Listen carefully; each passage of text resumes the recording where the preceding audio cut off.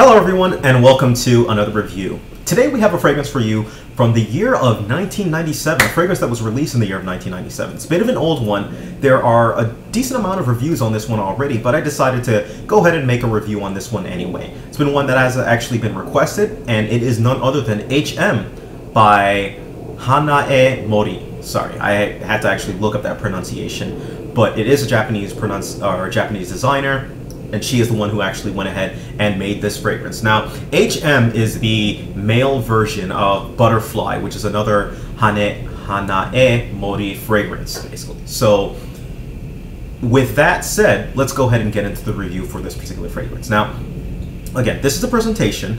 It's a very simple frosted bottle that says Hanae Mori on the very front of it.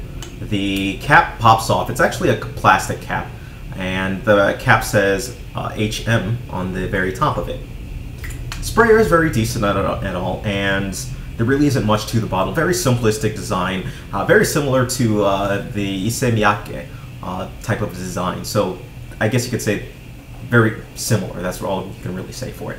Now, the 1.7, which is this size, is going to run you about $53 retail, while the 3.4 is going to run you about, I think, around $74 retail. Again, fragrance was released in 1997, so you can find it for a lot cheaper than those prices that are listed. So shop around, see what you can actually find for this one. Either way, you can probably find a pretty good deal on it. Again, with that, let's go ahead and get into the notes of the fragrance. The notes. At the top, we have lavender, lemon, black currant, green notes. For our mid, we have iris, jasmine, rose, lily of the valley, and for our base, we have sandalwood, oak moss, cedar, amber, vanilla, tonka bean, and asterisk chocolate.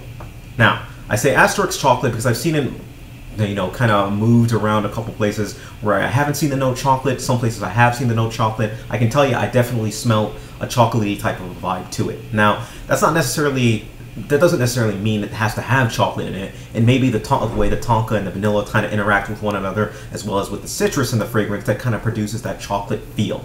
So whether a note, note's listed or not, I get a chocolate type of smell to it. Overall, when you start off with the fragrance, I get a very heavy lemon scent that comes out at it. Lemon comes out at it, and it's got this gourmandish feel that kind of comes up in the background. The vanilla, the tonka bean, the chocolate kind of bring up and come up right on, underneath the lemon. So the lemon kind of mixes with the chocolate and gives this gives it this lemony chocolate type of a smell to it.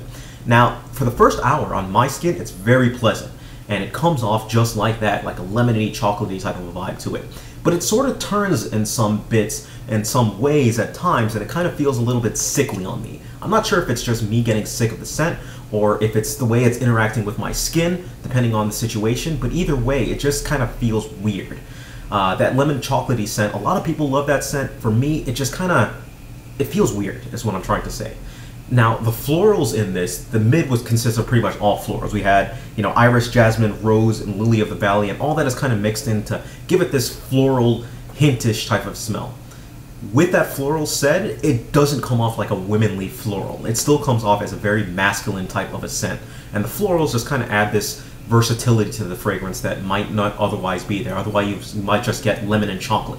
Uh, but with the florals, it kind of adds to it this depth, this versatility to it that um, doesn't necessarily translate to the versatility of the fragrance, but it adds versatility.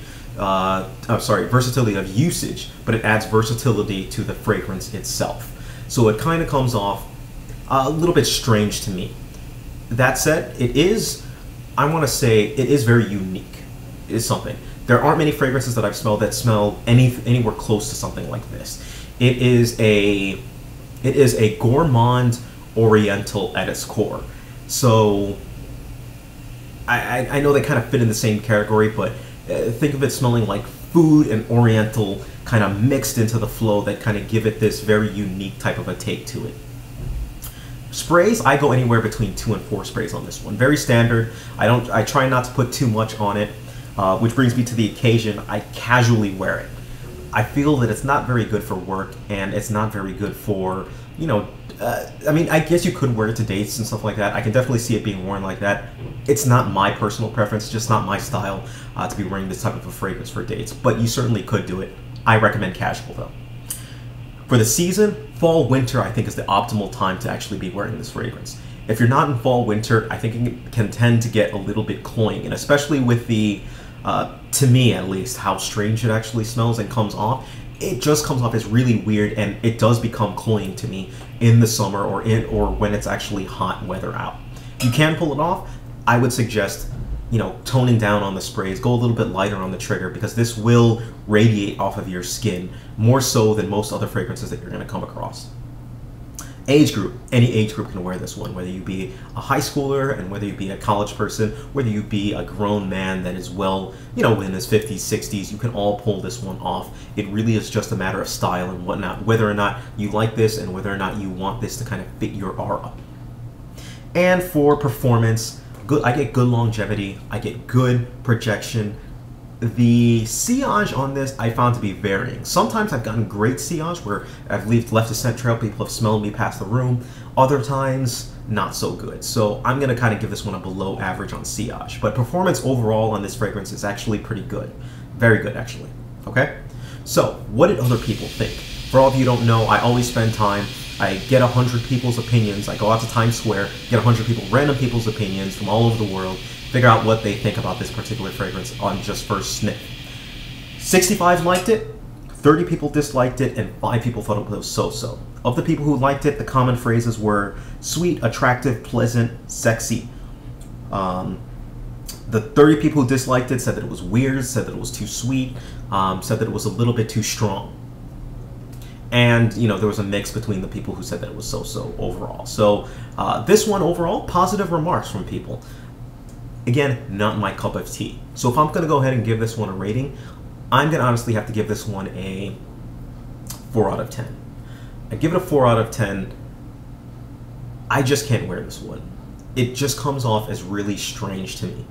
Uh, it's contrary to a lot of people and what a lot of people think about the fragrance, and I would highly suggest that you go ahead and give this one a try. A lot of people love this one. That lemon chocolate mix uh, kind of gives it this really unique and very, uh, a lot of people say, sexy vibe that comes to it. But it's just not one that I can kind of get down with. It comes off strange on my skin, sometimes a little bit sour, sometimes a little bit rancid on my skin, but that has changed a couple of times. But it has given me that type of vibe to it. So with that, I can't really give it a good fragrance rating. Performance-wise, I think it performs very good for fragrance, and you're not going to be lacking in terms of performance, but to me, it's all about the smell, and the smell is really what's dragging it down. What also is dragging it down in my ratings is a little bit of the versatility. It doesn't really have, I can't really think of any other situations why I would really want to wear this fragrance outside of casually wearing it, you know, kind of around, uh, whether it be around the house, whether it be going out, you know, groceries or whatever. I would you know, it's just not my preference to actually wear it going on dates or whatever the case may be, or to work for that. I think it's a little bit too strong for work. All that said, try it out. See if you like it. This is definitely one that you have to try for yourself and determine if you like. Okay? So if you have any questions whatsoever, please feel free. Leave me a note down below. Send me a message. Tell me about your experiences with Hane, which HM by Hana E Mori. Sorry, I always have to kind of slow myself down and pronounce that. Okay? Thank you. Take care of yourselves and have a great day.